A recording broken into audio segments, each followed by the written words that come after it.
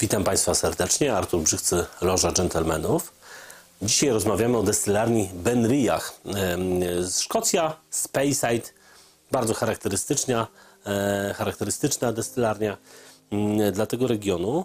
Mm, miałem dzisiaj zrobić odcinek tylko o jednej butelce, o sherry, mm, przepraszam, o Benriachu 12-letnim finiszowanym i trzymanym w beczkach po sherry.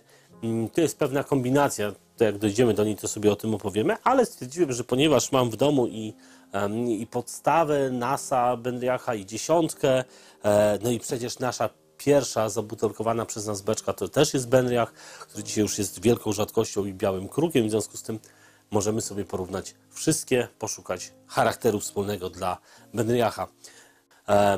W 1900 roku, zobaczcie, 1898 powstaje destylarnia, jest otwarta, 1900 roku jest już zamknięta, bo John Duff stwierdza, że nie ma takiego, Duff, Duff stwierdza, że nie ma takiego mm, wzięcia na tą whisky. Ona nie, nie jest mu tak potrzebna jak Longmore.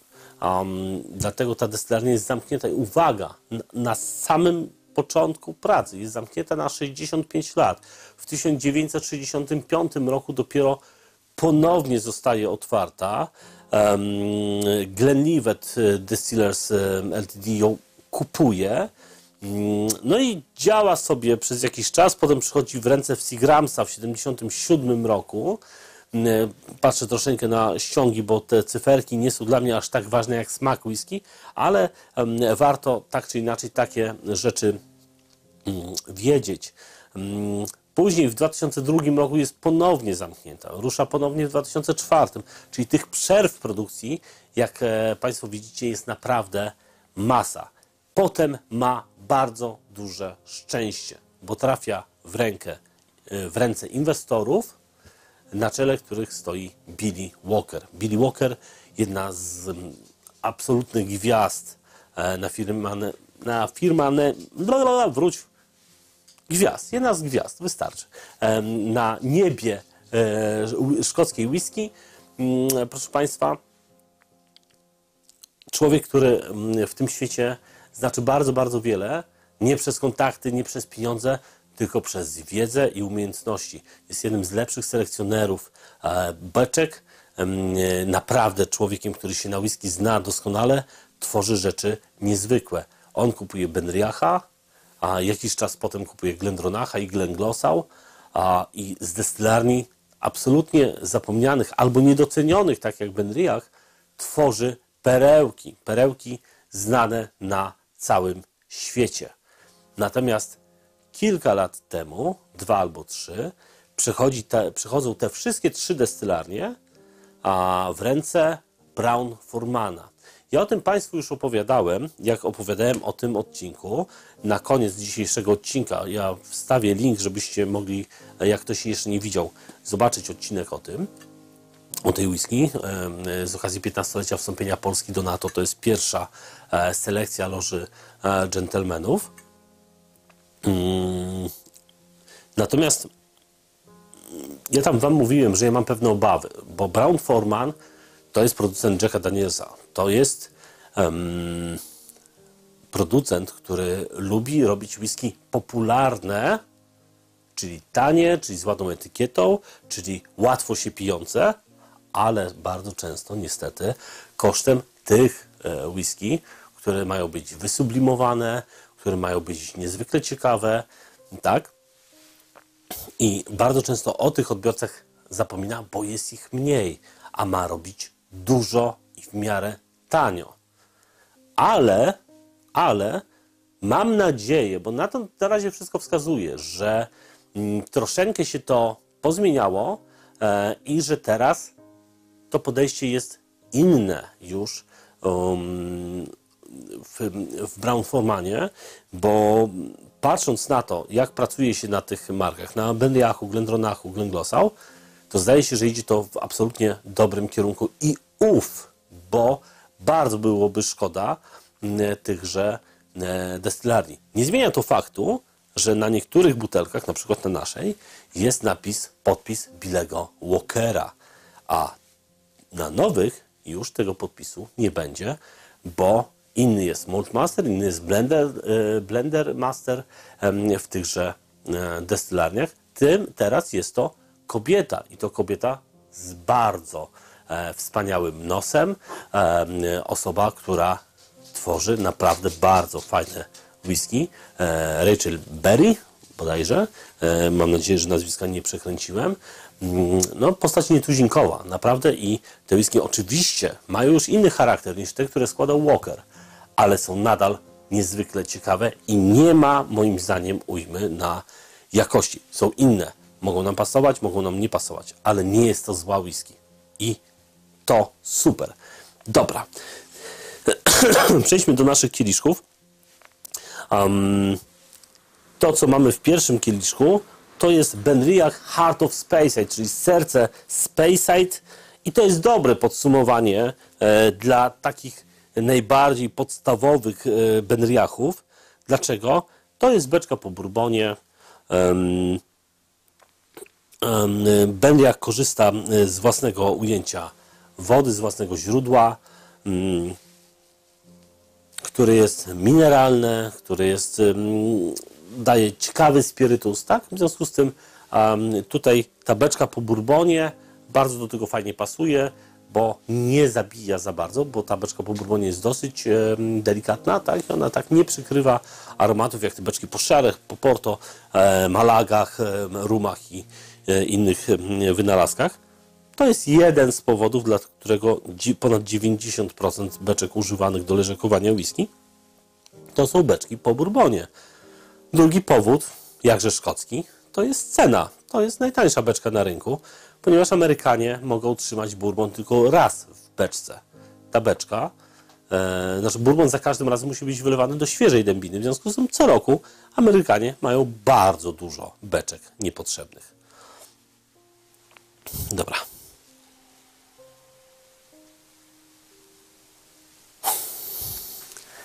typowe, bardzo miękkie, dzisiejsze SpaceX. Dlaczego mówię dzisiejsze? Bo na przykład Ben Romach pokazuje charakter tego SpaceX sprzed a, 50-60 lat.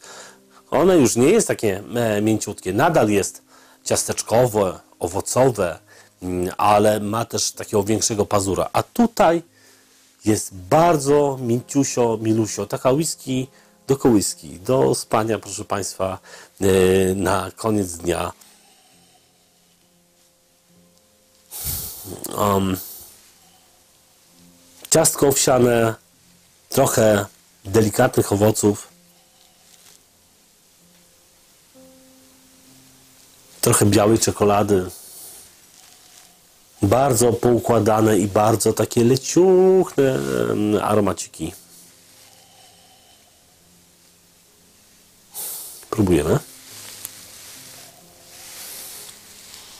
Mm.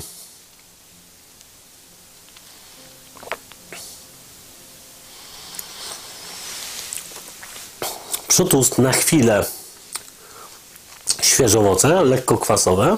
Za chwilę zmieniają się w owoce dużo słodsze, a finish to już jest ciastko owsiane e, z, mm, z odrobiną mlecznej czekolady. Tak? To jest taki bardzo delikatny zestawik. Kolor żaden. E, Bardzo, bardzo delikatnie złotawy, taka słomka. Na pewno nie rzuciłoby Wam się w oczy. Dzięki Bogu, że stoi na półce w tubie. To e, widzicie opakowanie zewnętrzne, a nie butle, bo pewnie ten kolor by Was odstraszył, a niepotrzebnie, bo naprawdę jest sympatyczna. Ta whisky nie jest koloryzowana, nie jest malowana karmelem, nie jest filtrowana na zimno i to jest destylaria, która od bardzo dawna tak em, działa a, i to bardzo fajnie. jeszcze, bo boję się, że na końcu zapomnę powiedzieć, to jeszcze powiem Wam taką rzecz, że do 99 roku a Benriach e, stosuje własną drewnianą podłogę do słodowania a, jęczmienia. To jest jedna z ostatnich e, szkockich destylarni, która jeszcze u siebie słodowała jęczmień. Oczywiście nie do całych produkcji, bo e, tylko do części, bo, bo po prostu to są takie ilości, się produkuje takie ilości mm, tej whisky, że nie ma już dzisiaj możliwości na podłogach słodowych, które są wewnątrz destylarni, żeby przygotować słód na, na wszystkie, na całą whisky, którą się w tej destylarni robi, ale na partie, na części, tak i na przykład nasz właśnie Wędrach pochodzi z takiej partii i to jest właśnie, to jest ostatni rok, kiedy ta podłoga jeszcze działała, w związku z tym no taki fajny, fajny smaczek e, dodatkowy. Dobrze, e, przechodzimy do dziesiątki, czyli pierwsza oznakowana wiekowa. Ta jest nasem, czyli przypominam, że według szkockich przepisów może mieć 3 lata i jeden dzień. Nie wiemy tego, ile ma dokładnie. E, to jest beczka po bourbonie, jestem prawie pewny, ale się upewnię, że z północnoamerykańskiego dębu. Ale ponieważ nie jest to Virgin Oak, czyli znaczy, że jest to beczka po bourbonie.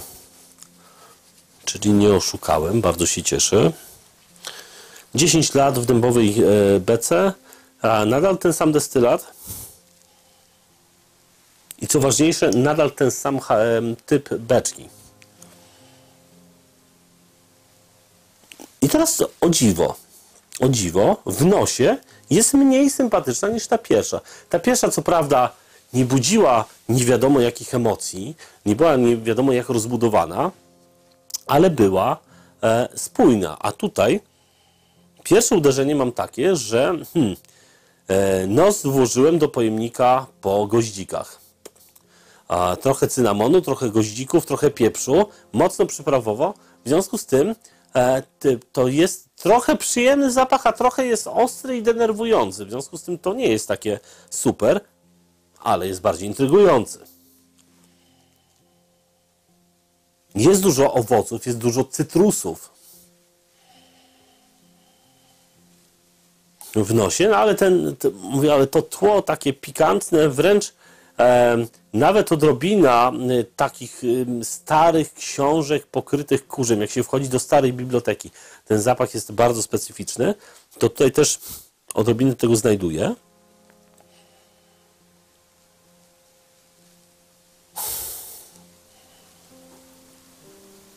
Ratują to te owoce, te, te cytrusy, te jabłuszko zielone. Dobra, próbujemy.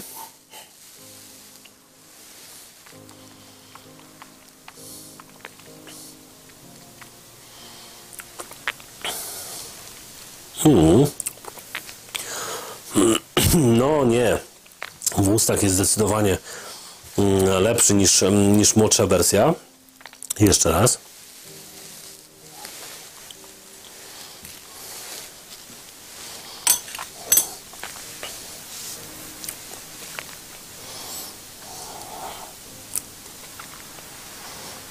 Mhm. Zaczyna się słodko trochę wanilii, trochę mm, budyń, to budyń waniliowy. Um, ale to dość szybko dochodzą do tego owoce. Potem te owoce mm, nasze europejskie, takie kwasowe, delikatnie kwasowe, zmieniają się w owoce um, owoce koloni niekolonialne, w owoce egzotyczne, proszę Państwa. Ananas wraca, może trochę mango, Mm, słodkie smaki. Papaja. No fajne. Fajne. I na to powraca te nuty jak gdyby lekko waniliowe z odrobiną um, jakichś takich kremów. Kurczę, fajne. Naprawdę rozbudowane na fajne whisky. Mm. Ale pikanteria zostaje ta pikanteria na języku jest z nami cały czas, tak jakby ona cały czas krzyczała, że jeszcze, jeszcze chwilę w tej berce by poleżała, że to jeszcze jest dla niej za młode. Zobaczymy w związku z tym, co się dzieje przy 12. Ale przy 12 e, chciałem się z Państwem podzielić moim, e, moją tragedią życiową, ponieważ zostałem zaproszony przez e, Brown Formana na spotkanie z dwoma niezwykłymi postaciami, z asystentem głównego mistrza destylacji Jacka Danielsa oraz e, z postacią e, dla mnie niezwykle ważną, Stuartem Buchananem, który w Benriachu pomagał Billemu Walkerowi wybierać beczki w czasie, jak my kupowaliśmy tą beczkę. I my żeśmy się dogadali, e, spróbowaliśmy tej beczki, porównaliśmy roczniki, on sprawdził swoje notatki, że on przy wyborze tej beczki dla nas tak samo pracował, tak? bo my żeśmy dostali zestaw kilkunastu, kilkudziesięciu różnych sampli, różnych beczek wyselekcjonowanych spośród ponad 20 tysięcy. 20 tysięcy. To oni naprawdę nie mają łatwej roboty. Nie wiem, czy wiecie, że, bo to też tak odnośnie tego, że um, kiedyś z wami się podzieliłem, że ja potrafię jednego dnia nagrać kilka odcinków e, i ktoś mi zwrócił uwagę, ale jaki to ma sens, przecież e, jak się te alkohole próbuje, to tam już po chwili, a to już ten nos i węch nie są takie. Od tego są przerwy, od tego jest popijanie wody, czyszczenie podniebienia, wąchanie kawy, wąchanie whisky aroma kit zestawów aromatycznych. E, natomiast pamiętajcie o jednym, jak jest Malt Master, czyli te najlepsze nosy, słuchajcie, które pracują w destylarniach, on na godzinę wącha 20-30 sampli. Na godzinę! O czym my rozmawiamy? To, to nie kwestia techniki. Absolutnie się zgadzam. Natomiast nie możecie wycinać tego, że, że to je, musicie jedną whisky spróbować dziennie i koniec. Nieprawda. Nieprawda. Tylko kwestia, jak do tego podchodzimy. W związku z tym napiję się wody. A, no i wracając. No i słuchajcie, i Stewart, e, kończymy spotkanie. Stewart mówi, słuchaj, spójrz na prezent. Mówię, okej, okay, jaki prezent? No i na koniec, na wyjściu dostałem torebeczkę. W torebeczce były dwie whisky. Jedno to był Jack Daniels Rye, czyli żytni i patrzę, a na butelce jest podpis e, właśnie tego asystenta mistrza destylarni. Mówię, ale super butla. Mówię, jak nie kolekcjonuję Jacka, tak ten zostanie w kolekcji. Mówię, super, no bo taka pamiątka naprawdę bardzo wyjątkowa. Spotkałem się z tym człowiekiem, uścisnąłem mu rękę, porozmawiałem chwilę, dostałem butelkę z jego autografem. Super. A, I do głowy mi nie przyszło, ponieważ na tubie nic nie było. I ja tą butelkę Benriacha, którą też dostałem w domu, otworzyłem. Jak ją otworzyłem, to dopiero wtedy zobaczyłem, że Stuart Buchanan na tej butelce też mi się podpisał. Ja tego po prostu nie zauważyłem. I to jest moja prywatna tragedia, bo butelka otwarta już z podpisem to już nie jest to samo. W związku z tym ja no nie mam wyjścia. Teraz muszę pojechać do Benriacha i poprosić Stewarta, żeby na nowej butelce podpisał mi się jeszcze raz. Co zrobić? Trzeba będzie to jakoś znieść. W każdym razie chwilowo to przeżywam bardzo, bo wiecie, e, pojechać nie pojechać, czy się uda, czy się nie uda, to się, to się okaże. Natomiast no, na razie mam tą tragedię, że tak się zdarzyło, a nie inaczej. Dobra, natomiast słuchajcie, to już jest whisky złożona, bo te pierwsze, to ja mam dziwne wrażenie, że ten skład się niewiele zmienił od czasów e, Billego Walkera. Natomiast tutaj ta różnica już jest dosyć mocna. Um, chociażby dlatego, że zmienił się skład. Będzie, jak to się zmienił skład? Przecież to jest Benriach, a whisky z, z jednej destylarni, przecież tutaj nie można składu zmienić. Nie można? Można w ramach jednej destylarni pewne rzeczy blendujemy, mieszamy.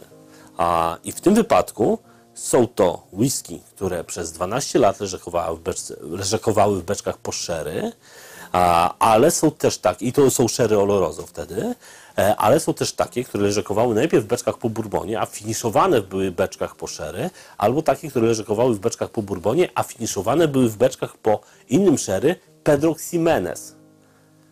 I to ma inny charakter. I ta whisky to jest kompozycja tych trzech rodzajów beczek, które następnie zostały zlane do dużej kadzi, przegryzły się ze sobą, zostały skastrowane do 46 bodajże procent. Już patrzę na butelce, będzie raczej e, to czytelne. 46%, tak? I z tą mocą zostało zabutelkowane dopiero i trafiło do nas. Ta whisky to już jest whisky zrobiona przez Rachel Berry w całości. um, kompozycja tych trzech beczek totalnie zmieniła smak. Jeżeli porównacie z, z starego Benriacha 12 mm, z tym, co jest teraz, to już są zupełnie inne kwiatki. A, no i tyle. W związku z tym to nie jest tak, że jak wychodzi coś z jednej destylarni, to będzie zawsze takie samo. To absolutnie oznacza, absolutnie jest powiązane z tym, co chce uzyskać Master Blender. Um, Mój ukochany, e, często do niego wracam, Michael, e, Master Blender z grupy Loch Lomond, mm, jest człowiekiem, który po prostu uważa, że jego whisky to są trzy typy. Loch Lomond jest owocowy, a Inchmoan e, jest, mm, jest dymny, Inchmurin ma iść w cięższe owoce. Kropka. Koniec. Tu więcej ma nie być. Nie chcę dodatkowych beczek po szery, po porto, wynalazek, na, wynalazków. Na pytanie, czy naleję w taką beczkę, czy wino, odpowiada no. Nie potrzebuję tego. Mam taki charakter, to jest moja wizja, te whisky mają być takie. Kropka. Dlatego o, Loża Dżentelmenów, nie tylko, w Polsce już jest, już w Polsce się zaczęło dziać, słuchajcie. My żeśmy zaczęli, ale, a pa, nawet nie, nie my żeśmy zaczęli. MNP pierwszy robi, y, butelkowało, robiło private bottlingi, tak? Wybierali beczki, butelkowali w ramach tych destylarni, z którymi mm, pracowali my poszliśmy krok dalej, no bo my nie jesteśmy importerem e, jakiejś marki, tak? W związku z tym my mamy ten przywilej, że możemy z różnych destylarni szukać pojedynczych, ciekawych rzeczy, ale teraz już są następni. Bez Whisky Market robi to samo, Taste of Whisky robi to samo, e, e, Scotland Yard, sklep z e, Katowic, fana, wielkiego fana whisky, robi to samo. E, Szymon Załęcki e, wcześniej, Simon Says Whisky, też wypuścił pojedynczą beczkę, w związku z tym tego jest naprawdę sporo na rynku i szukajcie takich ciekawostek, dlatego że to, co mówi Malt Master, Master Blender danych destylarni, danej sieci destylarni, to będziecie pili tylko i wyłącznie jego filozofię, co nie oznacza, że w tych magazynach nie ma ciekawostek. I to jest właśnie taka ciekawostka, zaraz do niej przejdziemy. Ale teraz nasz Benjach 12-letni.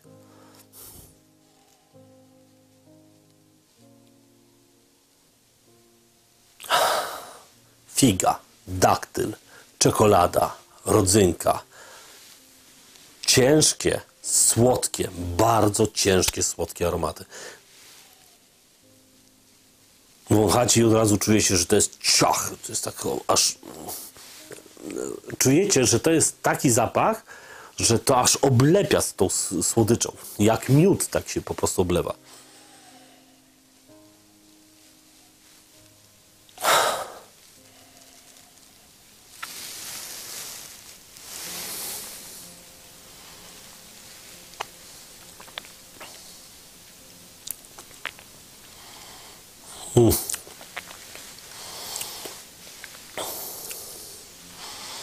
Dachtyl, czekolada. Mm. Trochę kandyzowanego banana. Mm. Nie, nie kandyzowanego, blanszowanego. Banan z, z patelni, a nie banan kandyzowany. ale kandyzowanych owoców też jest trochę, tropikalnych. Fajnie. Odrobina, czy to kawa? Nie, raczej odrobina gorzkiej czekolady, takiej e, wysokooktanowej, że tak to określę, z dużą, z dużą zawartością kakao. Mm, bardzo dużo słodyczy, bardzo długi, fajny finish. Wiśnia w czekoladzie oczywiście też. Mm, trochę piernika? Tak, zdecydowanie. -hmm. mm.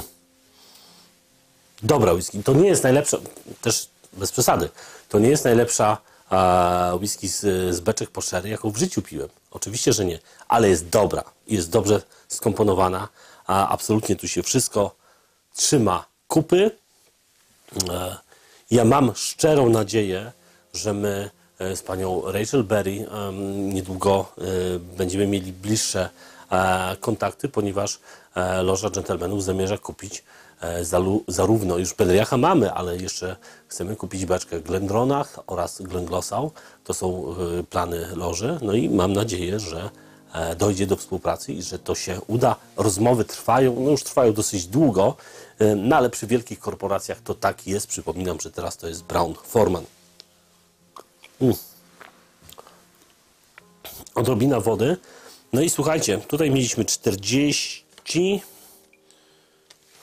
O, na tubach zewnętrznych nie zobaczę. 40 do 46% mocy do tej pory. Natomiast teraz mamy 55,8. Czyli to jest nasz Benriach pochodzący tylko i wyłącznie z jednej beczki. To jest single cask, e, to jest single malt cask bottling. Tak, to jest taka pełna e, nazwa. Beczka, jedna z wielu beczek wybranych przez Stewarta Bach- Buchanana oraz e, Billego Walkera, sample dostarczone do Polski, z tych sampli ja osobiście wybierałem e, tą e, beczkę. Przypominam, że beczka, która przez Sir Colina Hamdena White'a została uznana za jedną z jego ulubionych whisky i w 2015 roku e, w Whisky Magazyn pojawia się nasza butla jako jedna z najlepszych whisky kwartału.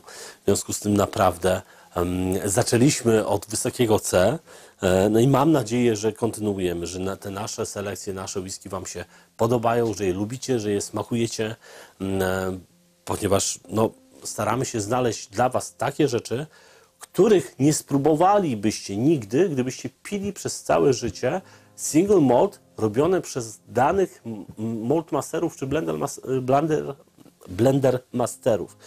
Dlaczego? Dlatego, że tak jak Wam powiedziałem, pijąc malt, y, y, klasycznego malta z danej destylarni, to pijemy whisky zgodną z filozofią tego malt mastera. Co nie oznacza, że to jest stricte charakter tejże destylarni, co, co nie oznacza, że to są, że to pokazuje cały charakter magazynów, które są w tej destylarni. Tam możecie znaleźć mnóstwo różnych ciekawych rzeczy. Teraz uwaga, to co trzymam w kieliszku, to jest whisky z beczki ze świeżej dębiny. To jest Virgin Oak, amerykański biały dąb. I tak jak bourbon, spirytus jest nalany, czyli świeża whisky jest nalana od razu do nowej beczki, tak jak jest przy bourbonach. Tego w Szkocji w zasadzie się nie robi. Bardzo niedużo jest Virgin Oaków. To jest taki wyjątek. Dobra, co tutaj mamy w nosie?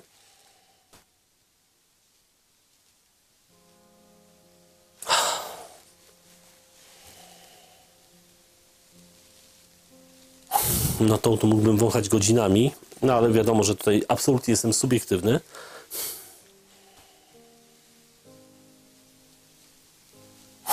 I tutaj też jest bardzo dużo owoców egzotycznych, ale też są nuty em, sosny, spadzi.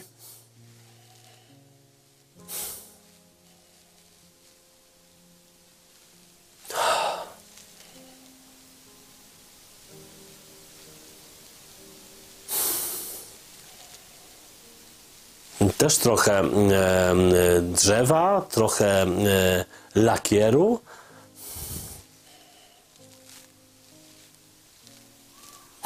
Wręcz takie lekko mentolowe nuty wchodzi przez, przez, przez te lakierowato-mentolowe.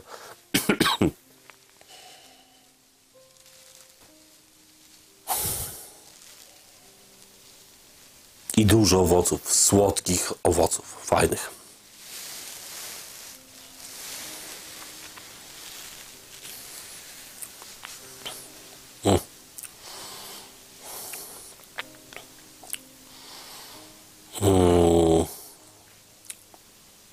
i, i morela, i nektarynka, mm, i trochę ananasa, mm, i dębina, no dużo, wiadomo, wanilia oczywiście, biały dąb amerykański, przypominam, Mm, trochę o, kawy, ale tak delikatnie, to taką jakbyśmy e, bardziej mieli e, drewniany kubek em, i tam była resztka kawy i tak mamy bardziej zapach tej, tego drewna niż tej kawy, ale takie to jest powiązane. W związku z tym tutaj taki, takie zestawienie. Bardzo długi finish. Smak na podniebieniu z nami zostaje bardzo, bardzo długo. E, trochę też pieczonych jabłek a z przyprawami. Trochę przyprawowość jest oczywiście. No To, to dosyć charakterystyczne dla mm, Virgin Oaka.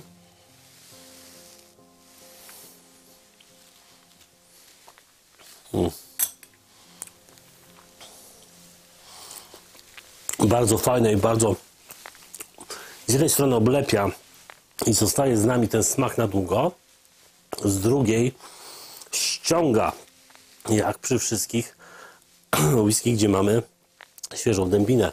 Ta, to, co mamy z drewna powoduje, że to tam ściąga, robi się taki koci języczek, szorstko na języku, ale przyjemnie, naprawdę bardzo słodkie smaki, a jednocześnie wrażenie wytrawności przez ten koci języczek. Bardzo, bardzo fajne a, zestawienie. E, na koniec tylko powiem jeszcze, że Benriach do dzisiaj wciąż używa klasycznych e, magazynów, a wciąż e, beczki leżakują poziomo, a wciąż na trzech rzędach tylko w górę mają pięć takich magazynów a, i jest to naprawdę piękne miejsce, woda dobra, a whisky jeszcze lepsza, w związku z tym ja Wam polecam poprób- popróbowanie Benriachów, szczególnie, że był taki moment, że Benriach bardzo eksperymentował i tych serii, tych wynalazków, y, najróżniejszych beczek, finiszowań i tak dalej jest naprawdę cała, cała masa. Kupujcie, póki to jeszcze jest, bo to Walker był znany z tego, że wypuszczał różnego rodzaju ciekawostki. E, czy Rachel Berry też będzie tak robić? Nikt tego nie wie. W związku z tym, póki są na rynku, kupujcie i próbujcie, a, em, ale też porównujcie pracę Walkera i Rachel, em, i Rachel Berry, ponieważ moim zdaniem wcale nie ma wstydu i e, obydwie te postaci są naprawdę niezwykle ciekawe i mają inny smak, inny charakter. Rachel nie kontynuuje pracy Walkera, robi własne wersje, bardzo fajnie. Dzięki śliczne i do zobaczenia w następnym odcinku.